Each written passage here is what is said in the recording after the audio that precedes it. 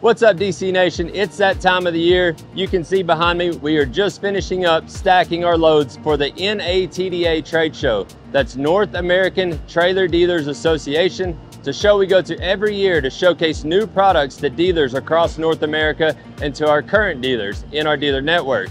It is a closed show to dealers only, so individual consumers can't get in there, but Watch this video. We will take you through the journey from stacking all the way through the end of the show. Also, watch out for other updates and videos. We'll go over some of the new product that'll be in the booth that's coming to you soon.